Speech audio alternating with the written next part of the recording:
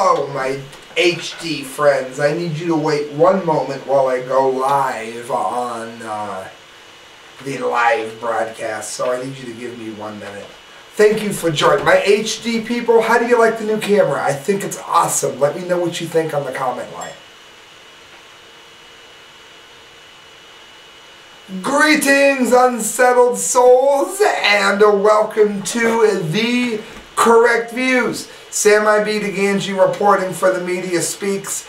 I know the cameras are a little in different areas. There's two different cameras for this. And I'm not really going to make any jokes about it today. Uh, HD people, I'm pointing at, at you now. Low def people, I'm pointing at you now. If you don't like your camera quality, go to themediaspeaks.com and they will give you better camera quality as soon as the high def loads. I deliberately have the low def on for people that don't have high bandwidth. It's not that hard to understand, people. And I'm really not in the mood to joke today because today marks the three-year anniversary of the worst disaster, according to Chris Busby, and I agree, I agree, the worst disaster in all of human history. Today is in fact the three-year anniversary, it's 3-11-2014, 4.31 a.m. of the Fukushima disaster. Friends, I knew I've started the show with Joker hats. I've started the show with all kinds of things. On air, today is not the day to joke. Unfortunately, someone that you love is probably going to die early because of what happened three years ago today. And I am definitely speaking of the Fukushima disaster. I'm not going to do an entire show today on Fukushima because I just did my massive Fukushima update. Uh, look it up on my site. It's on there five days ago. What we're going to do today, uh, might be six days, depending on what time zone you're in. What we're going to do is uh, start the show off today with a little bit of Fukushima. How's that? This is from RT. Thousands hit Tokyo streets in anti-nuke protest. Uh, March 10th, 2014. And I'm very happy to hear this. As the third anniversary of the Fukushima disaster nears, tens of thousands rallied in the country's capital Sunday to protest against the nuclear industry and speak out against the government's plans to resume nuke energy production to power the economy. I felt that it's important that we continue to raise our voice whenever possible. Yusaro Kawai, a 66-year-old businessman who is very wise, uh, said from Chiba Prefecture, east of Tokyo, he said it to the AFP. Today, there is no electricity in Japan that is made at nuclear plants. If we continue this zero energy status, and if we make efforts to promote renewable energy and invest in energy saving technology, I think that it's possible to live without nuclear. Kawai, K-A-W-A-I, added. And I'm going to pause there for a second, friends. I'm going to tell you why. Maybe Japan is paying, maybe the average citizen is paying an extra 50 or 60 bucks a year to not have nuclear because they have to import so much. Does anyone really have a problem with that in Japan, no matter how poor you are? And trust me, I have been as poor as just about anyone, unless they're in a third world country. I used to drive cab for Yellow Cab in Canton, Ohio. How poor can you get? Let's get real. Um, I would have even then paid an extra $60 to not have the Perry nuclear plant in Canton, Ohio, which it unfortunately very much is. Um, it's important to move away from nuclear, and I'm going to give you two reasons for it. First of all, man-made global warming is a lie. Uh, Somebody put a house beat behind that for me. Man-made global warming is a lie. Man, you get the point. Um, the other one is, even if man-made global warming was real, the amount of damage that nuclear brings to the environment just through routine releases. And if you don't believe me, look up nuclear plant routine release, you will be horrified. Um, they do more damage to the planet than what the global warming nutcases claim we do to the planet. Nuclear is far worse than anything we've ever seen, and Fukushima has proved this.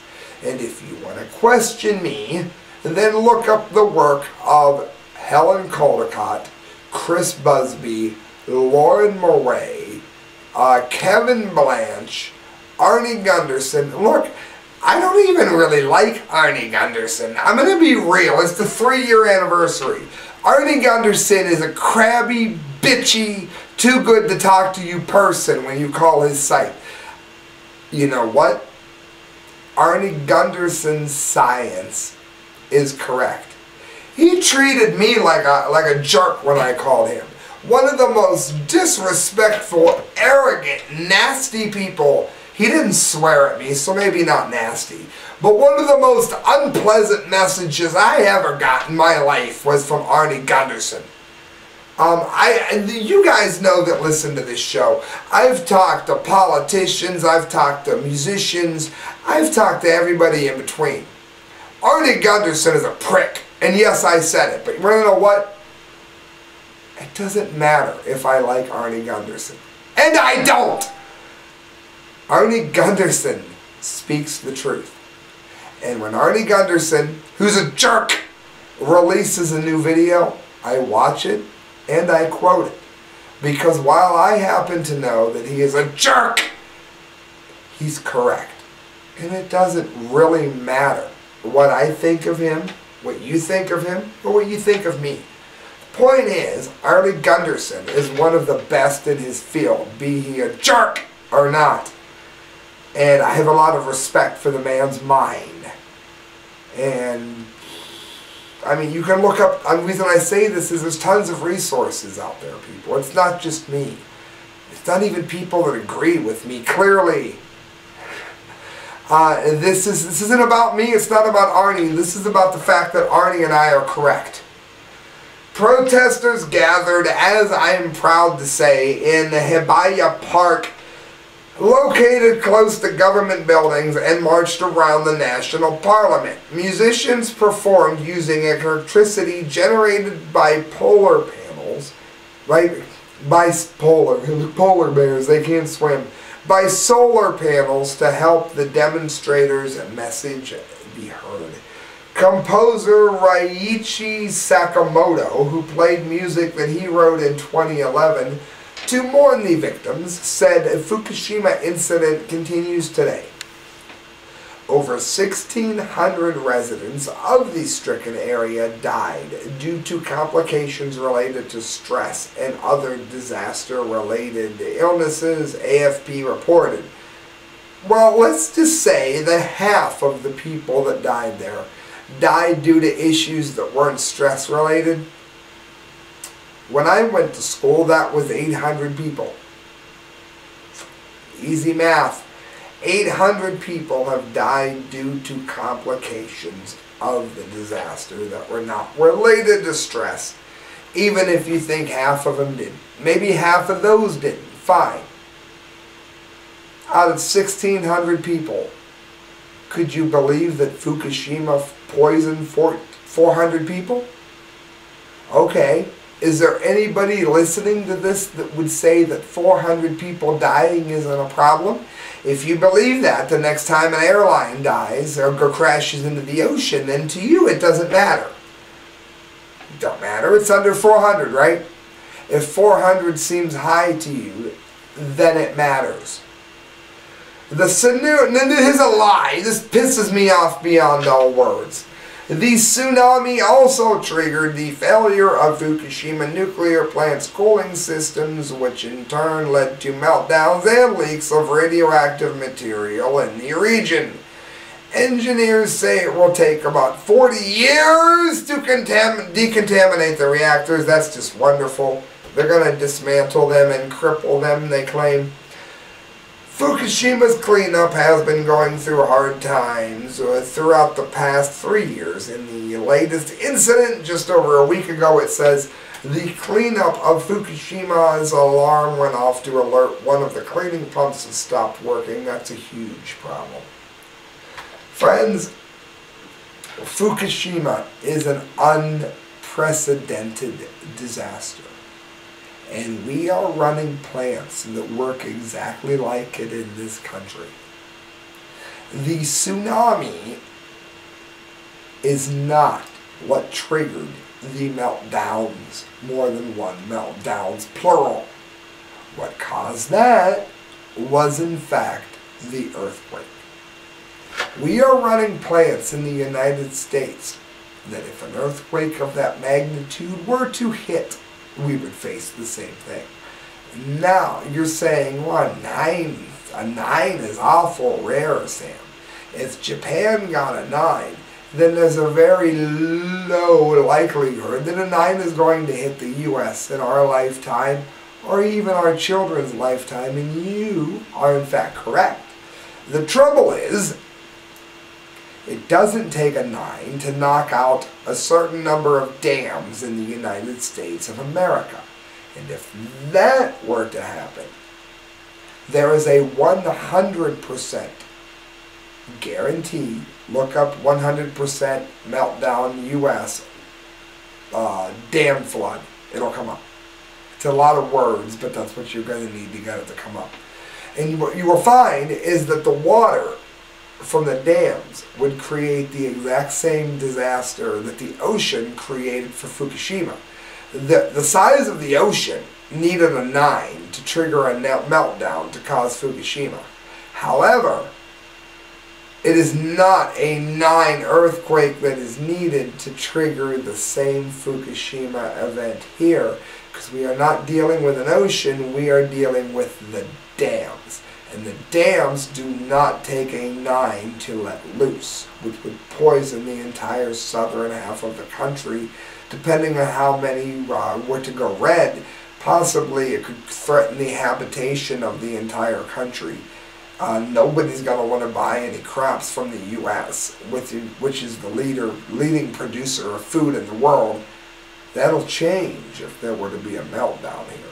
So, friends, let's honor the one year anniversary of Fukushima with a little bit of common sense. I just gave you a lot of facts. Doesn't matter if you like me or not. I don't like Arnie Gundersen. He's right. You might think I'm a long haired freak with tattoos. You know what? I'm a long haired freak with tattoos. But I have the facts. Arnie Gundersen has the facts. So look them up. Friends, we are going to go on uh, today Elizabeth Renter, PrisonPlanet.com report most common coloring in food slash drinks could cause cancer. It's the most widely used color for food in the world, though few know enough about caramel color to know that it should be avoided. Aside from being brown, which is in Coca-Cola and Pepsi, it bears no similarities to the sweet candy flavor that it's named after. In other words, there is no caramel, caramel, it's caramel, in it. As a matter of fact, not appetizing at all, caramel color contains a potentially cancer-causing ingredient. A recent Consumer Reports study found that you may be receiving more of it than what's generally assumed to be safe. Friends, I've had a lot of people ask me uh, why I rally against this so much. Well, one of the reasons is because I like rallies. I like Coca-Cola. I love to have a rum and Coke. I love it. Bacardi and Coke is like the bomb. I love it. I love fast food. I don't like it. I love it. The fact that they don't have to put these kinds of poison into it, but yet they do, is the exact reason I'm furious about it. I also work a day job. That well, I'm not really day. I get off at 3 a.m. Um, it involves in late hours, and there's very few things open. So you end up at a lot of fast food restaurants if you live as I do. And the fact that they're putting in this in this food infuriates people like me more than most because it affects us more than most. According to Consumer Reports, 4-Mel, which is uh, M-E-T-H-Y-L-I-M-I-D-A-Z-O-L-E, has been shown to cause cancer in mice. The International Agency for Research on Cancer found it to be similarly, quote, possibly carcinogenic to humans, uh, that is us for you Lady Gaga fans, in 2011. Though there is no federal limit for caramel color and its dangerous ingredient 4-Mel, in foods and beverages there is a limit in California. It says Proposition 65 became effective Jan 27, 2012, requires food and beverage makers to label the products, which could expose consumers to more than 25 grams per day. And in it warns of potentially cancer-causing effects of the chemical. Caramel color. Million dollar color. Everybody loves caramel. Might as well call it million dollar color. Everybody loves million dollars, do they not? Never mind the fact that there's more cancer-causing agents in it than there is caramel. Let's give it a pretty name. For their study, Consumer Reports tested beverages from both California and New York State and found several went over 20 milligrams limit. There are two rounds of testing, the first in April and the second in September of 2013. Some of the beverages which tested above the 29 microgram limit in the first round were far lower the second time. Pepsi at 174 in April and 32 in September. Let's cut to the chase, which we like to do on the correct views. If it has caramel color in, try not to drink very much. Try not to drink any. And if you pick up the bottle and it's in it, don't buy it. That's how you rebel. That's how we win. MyFoxDC.com has our next story. U.S. teens are more stressed than adults. Back before I knew how to write lyrics that were better than Usher, who's terrible, I remember writing as a teenager, the stupidest lyric ever, working hard just like a ranger, a day in the life of a teenager. You could not survive it, a day in the life of a teenager. Looking back, the only thing that I regret writing, and thankfully I never sang it anywhere, was a day in the life of a ranger. I can write a lot, I can rhyme a lot better things now than ranger, so I'm ashamed of that. But I am not ashamed of the intelligence that I was putting into it. I was 16 or 17 when I wrote that. And I could see then the teenagers had it worse in many instances than adults do. And that is something that I've stood by, even though I'm now 41. I still stand by it. Well, it has now been proven in 2014. It's nice to know that there's a reason that I called the show The Correct Views. U.S. teens are more stressed than adults. I don't doubt this at all.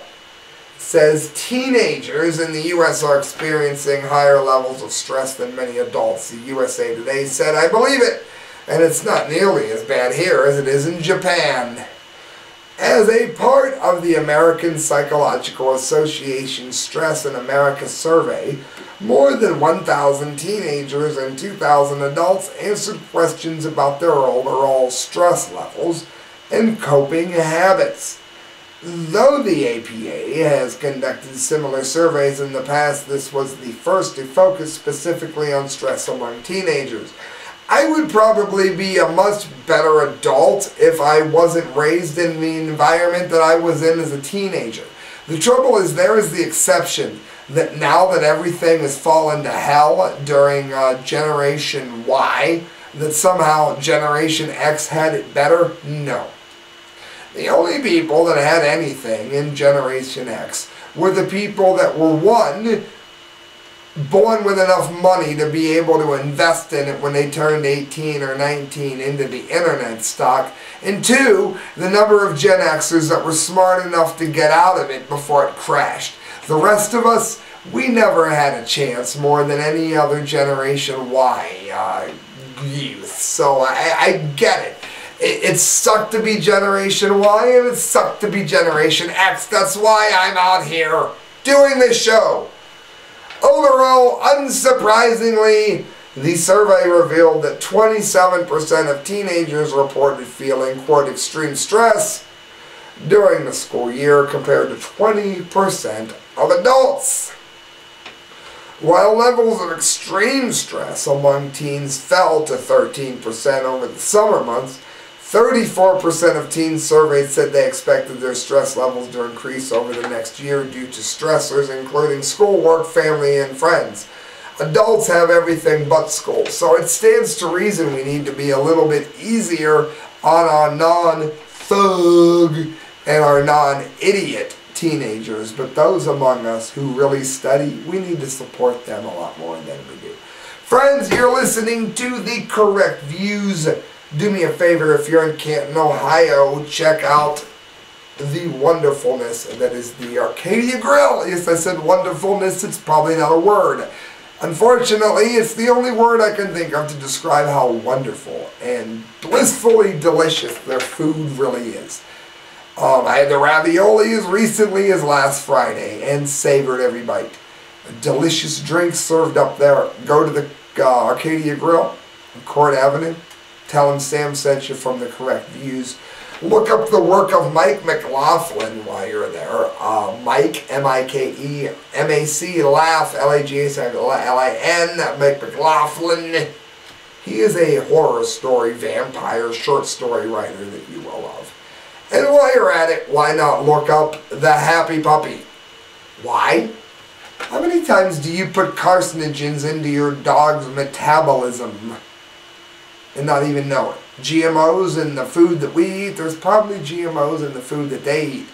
Well, Happy Puppy makes all natural dog treats. Look up the Happy Puppy on Facebook.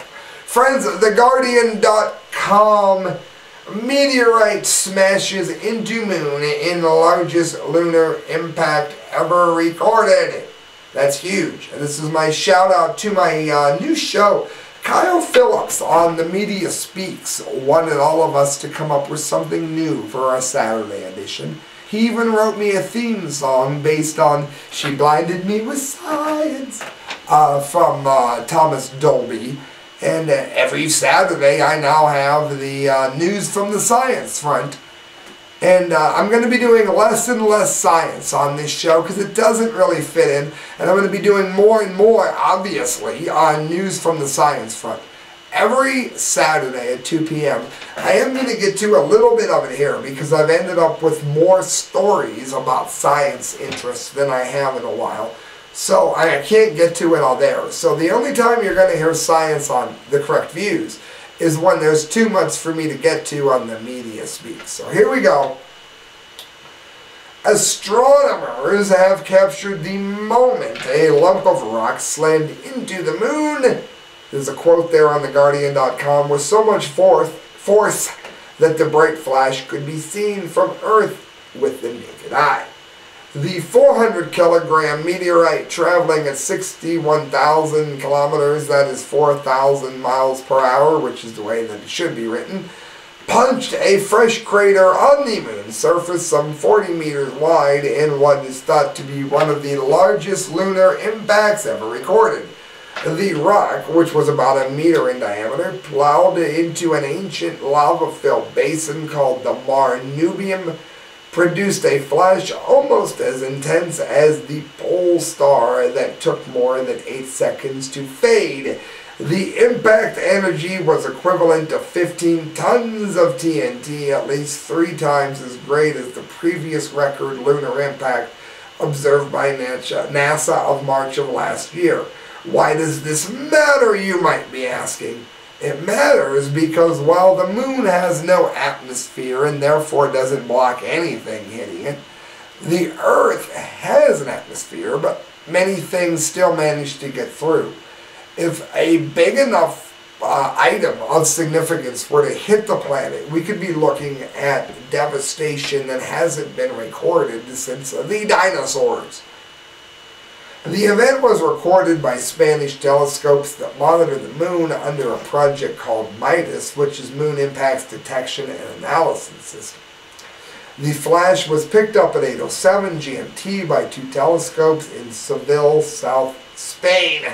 So friends, look it up. It matters for reasons that I just laid out. Join me at 2 p.m. mediaspeaks.com. News from the science front. I do this kind of stuff in more depth, in more, how do you say that? More in depth on Saturdays, 2 p.m.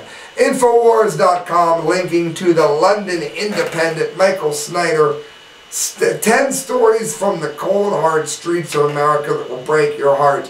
For those of you that think everything is going to be fine in America, I'm going to randomly pick four of these to read, starting with number one. A 34-year-old man named Rocco, he says, while my wife goes to work, I've been staying at home to converse, conserve fuel. I've been losing weight and eating less, so my family has more on their plates. It feels like the government and big business expect more and more while trying to give back as little as possible. Soon my internet connection will be shut off and he can't listen to the correct views. And since most companies don't offer paper applications, how will I find work then? And that is a huge problem. We need more paper applications walking around for miles a day asking for an application that may or not be available, he asks. Uh, number four, the following is an excerpt from the comment line that was recently left by one of his readers, writes Mike Snyder, quote, I live around ground zero, southwest Virginia, and let me tell you, things are bad and getting worse by the day. We don't do drugs, but have family members hooked on meth or pills or both. Many of these pills are prescribed by local doctors, either Suboxone to get you off of the opiates, a total joke, by the way, and tons of Xanax. Why would anyone need 120 milligrams of Xanax a month? just goes for the snap cards. These pills are traded for sex items. We have family members going to jail. Why is this happening? Because we have no jobs in our country. That's why. Let's pick number eight. In response to my recent article about Appalachia, a reader named Rob shared the following, which happened because we need to quit sending our jobs overseas. We need to stop outsourcing. I am from rural south central Kentucky, Brodhead, Ross Castle County, and I can tell you that most of the things described above are exactly how it is here. There are so many people on drugs that it's crazy. At first it was meth, which was more of a problem back in 02 and 07, then the pain pills, which started becoming a huge problem. Oxycontin and Perks 30s are obtained from Florida and Georgia doctors. The pills are something that you can't just walk away from after doing them for a while. They cause people to steal from their families, sell everything they own, and prostitute themselves or their kids to avoid opiate withdrawal. Why do people do these sorts of things? Sometimes because they're human scum and sometimes because they've had no opportunity. Why did I used to have to sell drugs out of my taxi? because I had no other opportunity to feed my wife. 10. An excerpt from the heartbreaking letter that an employed woman named Paula Bray sent to Barack Obama. Dear President, I write to you today because I have nowhere else to turn. I have lost my full-time job in September due to the outsourcing that you and Bush and Cheney and uh, Clinton liked. Oh, in 2012 she didn't add anything from September to 20. I have only been able to find part-time employment 16 hours each week at $12 per hour, but I don't work every week. For the month of December, my net pay was $365. My, imagine living a month on 365? I have. I used to work for Fred Nero. He's part of the reason that the Canton is as scummy as it is. My husband and I now live in an RV at a campground because of my job loss. Our monthly rent is 455 and that doesn't include utilities. We were given a 27 foot RV or we wouldn't have any place to live. It was from 1983. This is the country that we live in. It goes on to say that, that, sometimes her blanket freezes to the wall of the RV. They were living off of microwaved food, but now can bake a little because somebody gave them a stove oven. A block of ice costs $189, and if they don't have it, then there's absolutely no way that they can store any freezable food. Welcome to the America that our wonderful presidents, more than one, have brought us to. Friends, the last story that I'm going to get to, uh, the dunce of the day, the dumdy of the day. For those of you who don't know, I give out the dunce cap of the month, once a month, every month.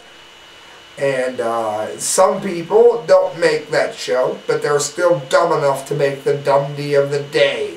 FoxNews.com EPA moves against major Alaskan gold mine, could sideline project over salmon. Two things.